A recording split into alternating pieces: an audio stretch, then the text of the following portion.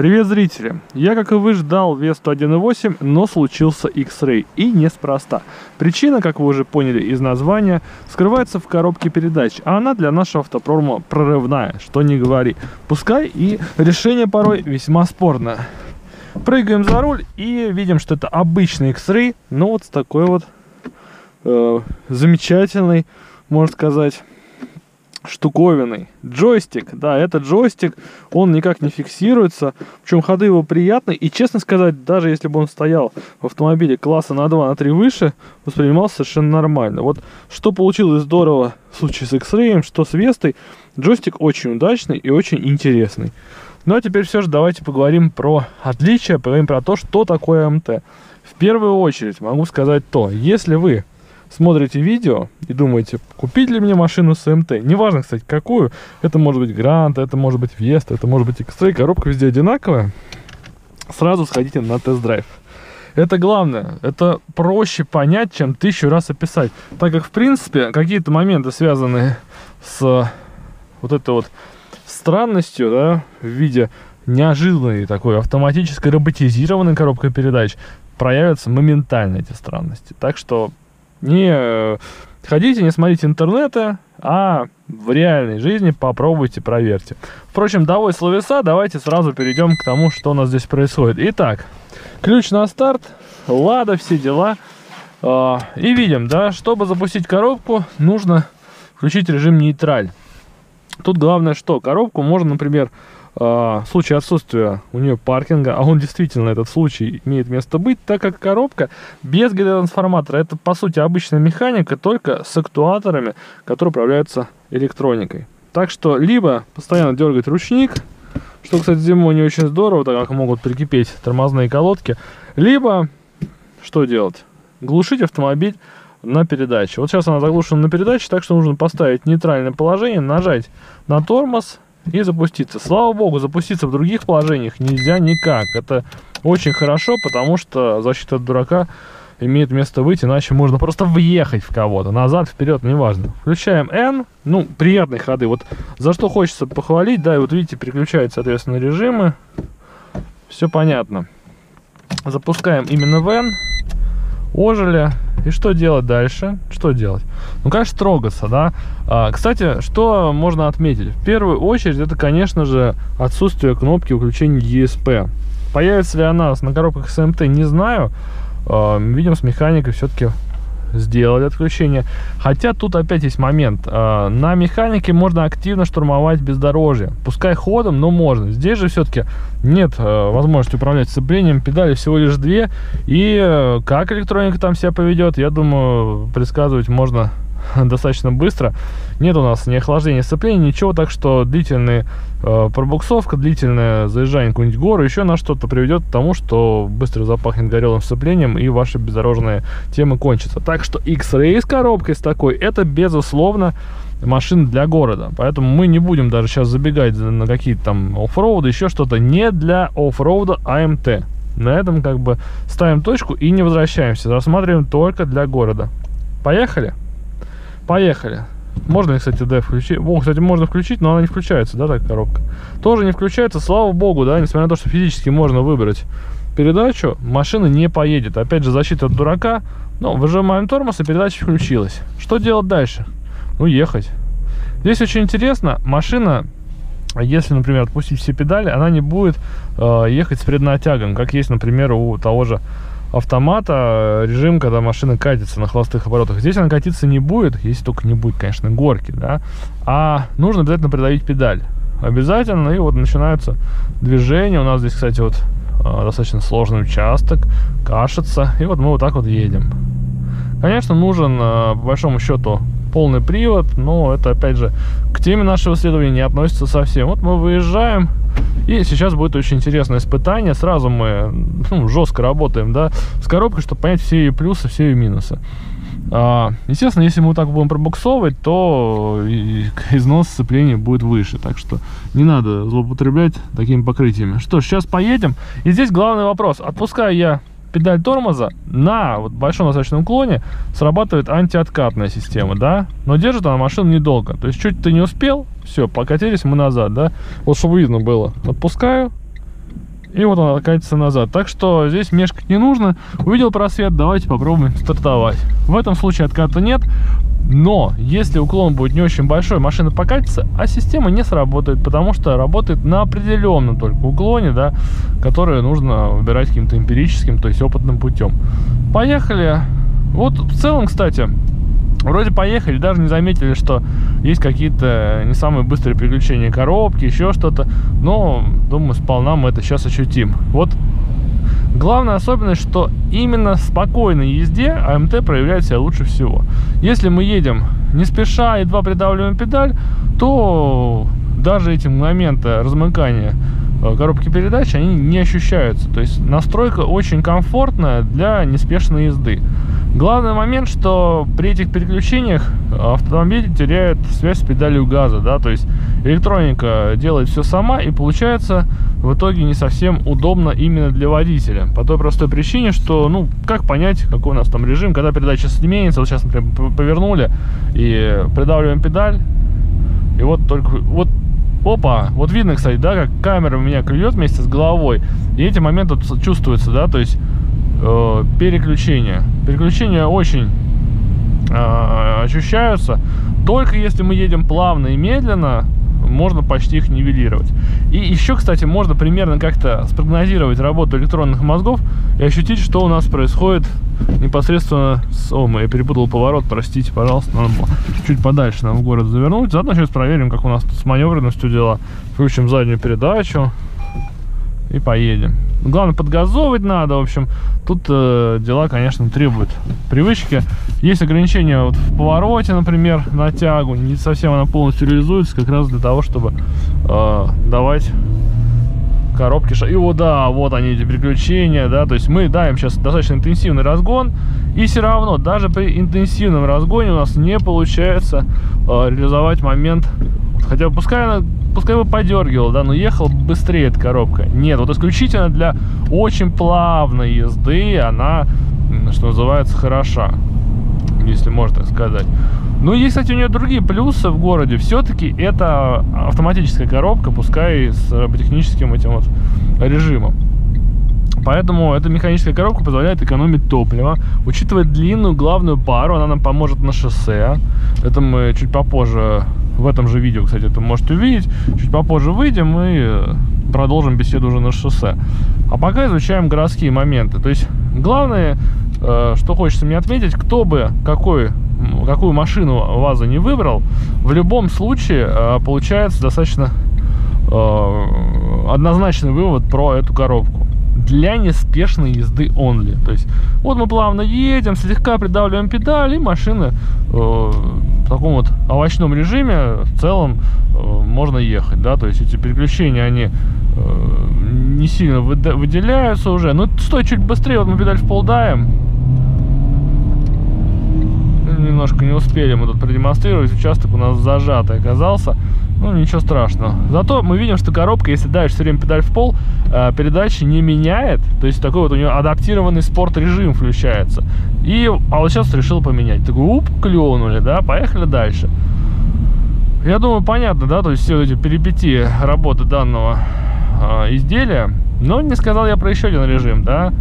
Про главный, пожалуй, режим, который здесь есть. Это режим э, механический. Механический режим нам поможет сделать что? Он поможет нам, э, например, при обгоне. Это мы проверим еще на трассе обязательно. А в городе он позволяет ехать, кстати, более-менее динамично. Еще один момент, коробка, вот сейчас мы вниз поехали, она все время передача а, переключает, да, то есть не оставляет машину на высокой передаче. То есть все время какая-то передача да в коробке воткнута, это очень полезно для э, динамической езды. То есть э, и более уверенно чувствуешь себя зимой. Еще вот эти, эти разрывы, да, еще быстрее она переключала, было вообще здорово. Но сейчас мы с вами продемонстрируем этот вопрос, э, связанный с переходом на другие передачи помощью механического режима. И э, попробуем, кстати, даже обгон произвести, тоже очень интересно, в городских условиях. То есть, в целом, задержка достаточно сильная, вот включается передача, и вот мы помчались. Слава богу, у X-Ray достаточно мощный двигатель, он часто вытягивает, да, без смены передач. Это удобно. Вот мы опять переключаемся. Ну, сейчас вот поедем. Сейчас поедем. Давайте, э, наверное, развернемся, поедем в другую сторону, под горочку, продемонстрируем вот эти вот, да, конечно, приключения. Средний режим, средний и боевой режим совершенно с роботом не сочетаются. Это однозначно. А лучше все-таки э, пренебречь. В данном случае, если любите динамичную езду, это все-таки не для вас. Хотя цена всего лишь там 20-25 тысяч, э, разножка, это, конечно, совсем, совсем немного. Именно поэтому, да, и в основе так и сделали эту коробку. Сейчас никто-нибудь взад ей едет еще, дебилы.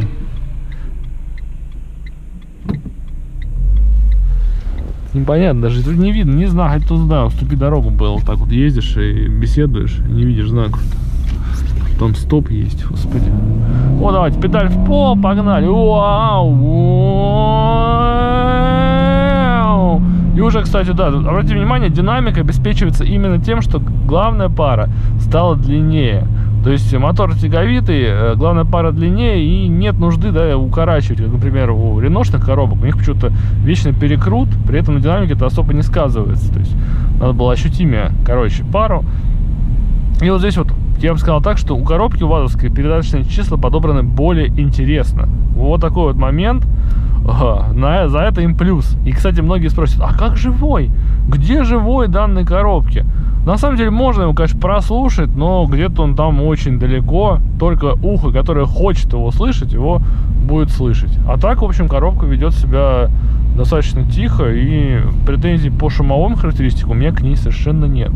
Давайте все-таки теперь у нас режим спорт. Входим в поворот, вторую передачу воткнули. Жалко нет у нас первая включилась, да, жалко у нас нет, соответственно, возможности выбирать подрулевые переключатели. Было бы вообще прям, кстати, интересно. И вот здесь вот машина раскроется у нас по-иному. По да, ина, иной совершенно у нас сейчас будет характер, кстати. А, вниз коробка переключается, а вот вверх, проверь, хочется сказать особо. Он кто-то Теслу успел купить, ничего себе. Красавцы. Так, опять мы катимся вниз. Вот недостаточно был сейчас уклон, но сейчас система включилась. Так, ждем. Вот это вот, конечно, главное, что кто считает, что АМТ это автомат, совсем это не так, э, не надо про это думать с этой точки зрения. Это гибрид, поэтому будет, скажем так, несколько моментов не совсем таких радостных для пользователя, э, кто считает, что покупает, по сути, автомат. Нет, другая коробка, ну, сейчас мы успеем, динамики достаточно, поехали. Первое, и что происходит? И мы сели на ограничитель. Посмотрите, мы сели на ограничитель, молодцы, сделали нормальную коробку, и главное, она переключается не как у машин, да, у других, вверх почему-то вперед давить надо, по-человечески, нужно давить на себя, и ты переключаешься вверх. От себя, когда ты тормозишь, тебя кивает, да, и ты нормально подбиваешь вперед. Учитесь производителю автоваза. Вот это удивительные слова, которые я могу сказать. Здорово, да? И вот если мы переключаем сами передачи, то становится намного интереснее езда, кстати. Я бы сказал, что уже можно ехать. С другой стороны, ну, если уж сами переключаете передачи, может стоит купить машину с механикой. Кстати, самая крутая Тесла, ё-моё. P90D, еще P100, по-моему. Москву Тесла Клуб. Клуб.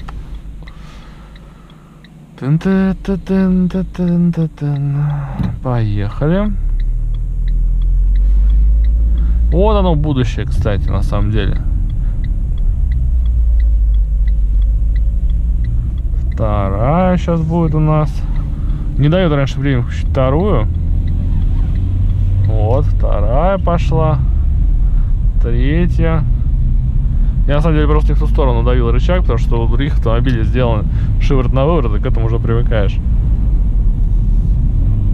Отлично, вторую перед поворотиком. Ух, как мы сейчас войдем. Пошли, газ в пол и налево. Налево, отлично. Вот уже, да, вот уже в мануальном режиме совсем другое ощущение. Хотя, опять же, есть небольшие эти затыки, но передачи переключаются более интересно. А главное, ты можешь понять, когда можно сбросить газ для переключения. То есть, в целом, в режиме э, мануальном, в ручном режиме, можно уже вполне себе э, более удобно ездить и получать даже удовольствие некое. Вот сейчас, например, вовремя включил вторую, третью выбираю. И подсказчик работает. Работает подсказчик. четвертая. Вот нормально уже, да, то есть, э, в принципе, я нашел, как нужно пользоваться этой коробкой, что нужно делать. Нужно ездить просто в ручном режиме, и будет благость. Хотя, опять же, того переключения, как на механике классической не будет. Там, правда, сцепление можно бросить, а здесь в целом комфорт сохраняется. Хотя, когда мы в ручном режиме, можно было и поагрессивнее настройку сделать работы пренебречь тем, что нужен какой-то условный комфорт. Что ж, едем дальше. И поедем сейчас на трассу. Поедем на трассу, посмотрим, как у нас, что будет с потенциальными обгонами. Конечно, тут у нас э, многополосная дорога. Тем не менее, будет интересно в соседнем ряду попасть. Так, переключаем передачи. Небольшой затык, еще небольшой затык. Ну, если вот э, более, скажем так, рассудительно подходить, немножко сбрасывать газ при переключениях, то проблем нет. А так, в принципе, учитывая тяговитость мотора, можно смело ездить в пределах одной передачи, пятую включил и ездишь. Поехали. 1.8 мне, конечно, очень нравится. Позитивный мотор такой получился. 92 бензин и э, внятные характеристики. Пускай не 150 сил, да, которые хотелось бы увидеть у мотора 1.8 или 140, но потенциал, думаю, есть. Э, наверняка мы видим более реальные, скажем так, значения числовые.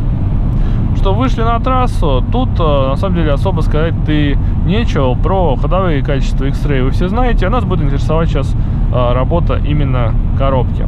Ну, во-первых, это, конечно, можно порадоваться за очень низкие значения на э, высокой скорости. Пя пятая передача у нас 100 км в час и 2500. Ну, чуть побольше, 2 2600. Очень здорово и такое передачное отношение, то, что нужно для X-Ray на самом деле. Конечно, с точки зрения бездорожья э, это не самый айс, но мы уже договорились, что с АМТ мы едем именно по асфальту. Это главная его задача. Э, уверенно чувствовать себя в пробках, уверенно чувствовать себя в обычных условиях движения. Ну что, как бы нам имитировать обгон? Вот смотрите, 3120, да, у нас на спидометре.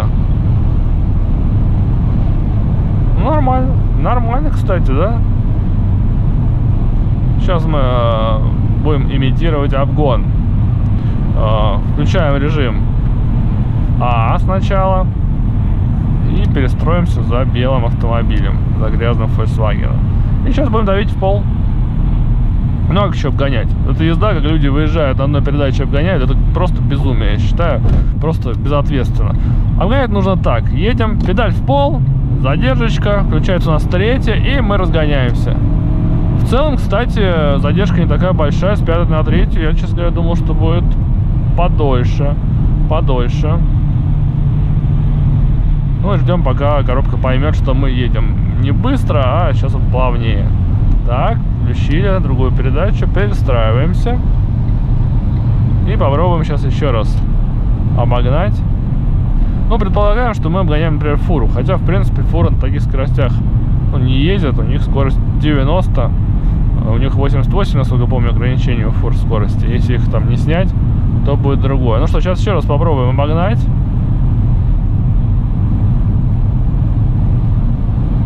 подъезжаем поближе к автомобилю. Нам кашка мешает. Но сейчас мы все сделаем. Включаем поворотничек. И вот у нас скорость 100. Да, сейчас будет обгон. Педаль в пол.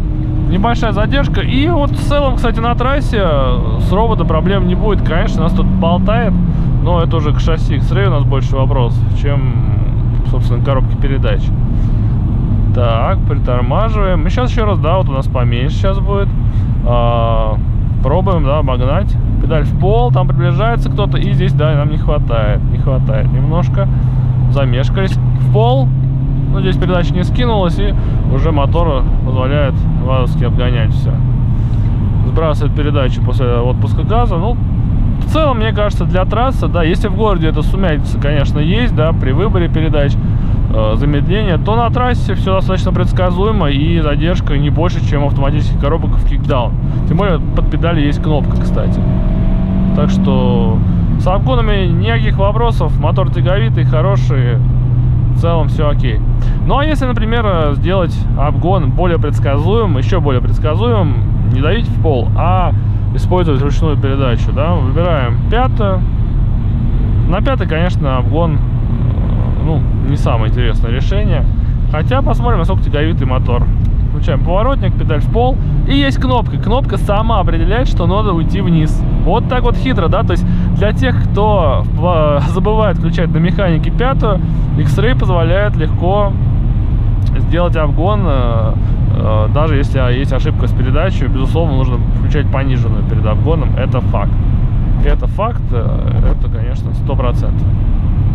Так, ну и что нам остается? Что нам остается? Все-таки сделать обгон на третий, да. Сейчас ослепит солнышко, ну, ничего страшного, в принципе. Думаю, все уже понятно. Выбираем третью. Вот так вот надо, кстати, обгонять. Выбрали третью, выбираем место и в пол жмем. В пол, и вот как раз так вот мы обгоняем. То есть это самое оптимальное. Не нужно. Вот как раз по колее-то, елы-палы, блин. Вот так и живем. Так что АМТ в целом для трассы норм, если, конечно, передача, да, то есть э, достаточно высока и в пределах третьей, например, можно обогнать. Если там вторая, третья, то уже тут, конечно, будет затык, который ну, не самый интересный для нас. На высоких скоростях вот можно легко обгонять, не вопрос. Для города, конечно, нужно понимать, что ты покупаешь. Обязательно ехать на тест, так как э, свое влияние эта коробка дает, безусловно. И заменой автоматом или вариатором классическим, или коробкой с двумя сцеплениями, она совершенно не является, будем реалистами. Но в остальном, э, в общем, учитывая цену, я так полагаю, что разумная альтернатива для спокойных водителей, ну, либо придется постоянно менять передачи, не знаю, честно говоря, насколько эта перспектива хороша. На этом я заканчиваю свое видео. Буду рад, если вы поделитесь со мной какими-нибудь э, сообщениями, еще чем-то. Работаю для вас, стараюсь. До новых встреч, пока.